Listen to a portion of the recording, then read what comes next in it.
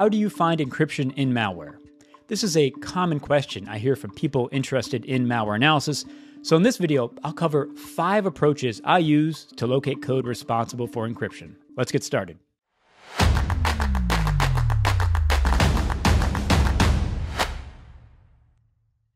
If you've been following along with the videos on my channel, you'll know that I often use the same sample across multiple videos to provide some continuity and also to encourage you to really dig in and actually look at these samples on your own machines. So today we'll continue analyzing a ransomware DLL, specifically a file from the WannaCry execution chain. Because while it's an older sample, there is so much to learn from it that carries forward to even more current ransomware. And because there are so many public reports written about WannaCry, it's easy to check your work if you're analyzing this sample for the first time. So I have my WannaCry DLL here on my desktop. As always, see the description for a link to this sample and I've already loaded it into Ghidra to actually save some time.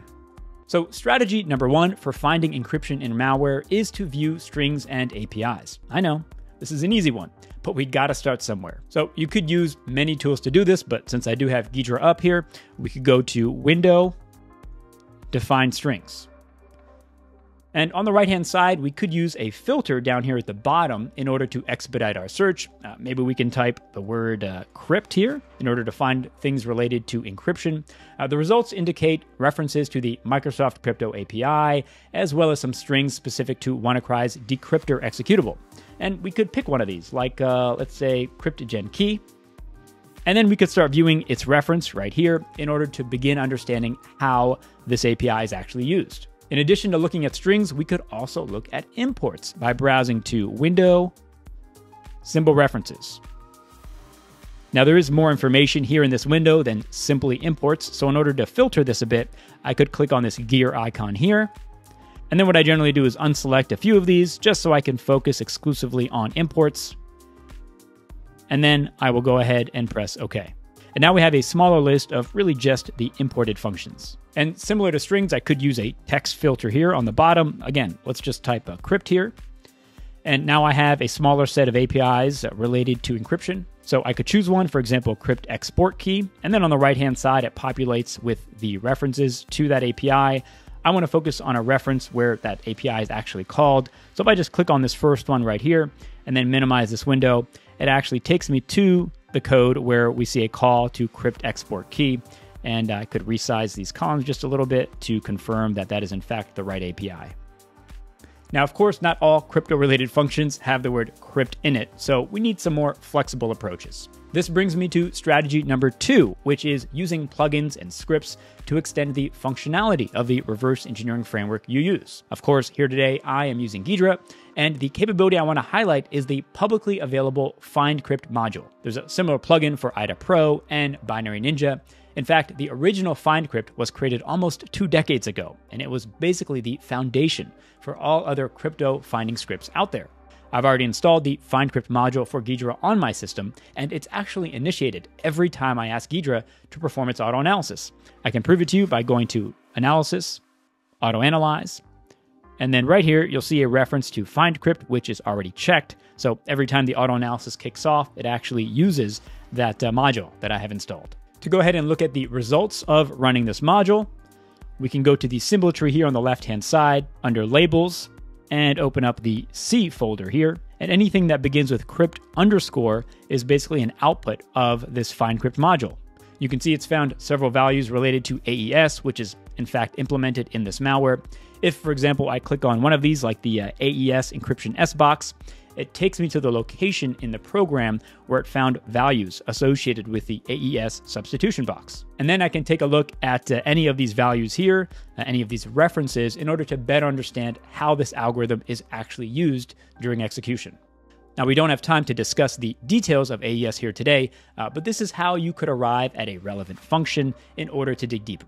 Strategy number three is to use Capa. I feel like I discuss Capa in almost every video because that's how great it is.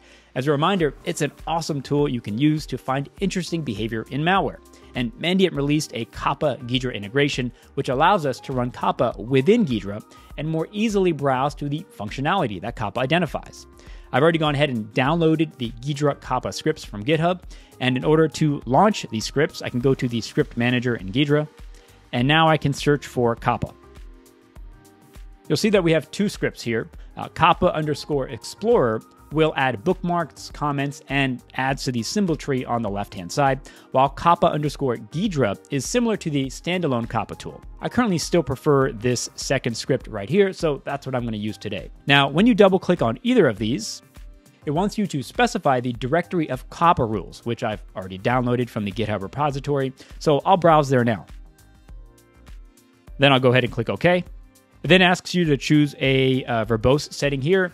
I usually choose this verbose option right here, which provides the virtual offsets so I can quickly jump to the code of interest. Then I'll press OK, and Capa will begin running here down in the console window. Now I can go ahead and uh, scan the output here to see what it has found. And you can see multiple references to AES as well as RC4. To jump to one of these locations, all you have to do is double click on one of these virtual addresses, like this one ending in 5DC0, and this will actually take me to the function where it believes it has found evidence of AES. And of course, you would proceed to take a closer look at that code. So as you're seeing, there is some overlap between the results each of these strategies provides, but the goal is to give you options. Strategy number four is to use Yara. As you're probably aware, because YouTube is full of videos on Yara, Yara is a tool developed to help malware analysts identify, classify, and group malware based on the presence of text or hexadecimal strings. These strings are placed into rules which can be used against files on disk or content in memory to identify matches.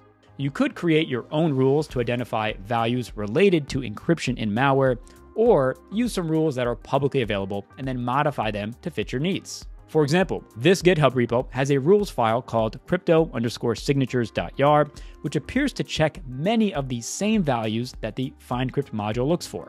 So let's go ahead and run this against our DLL.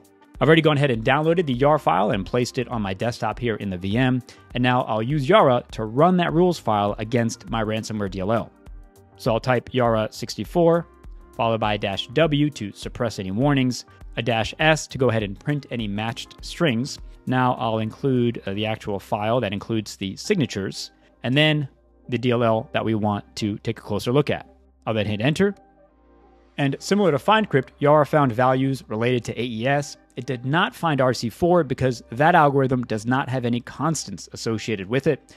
Capa actually disassembles and analyzes the code using its rule engine to identify evidence of encryption, making it a bit more robust.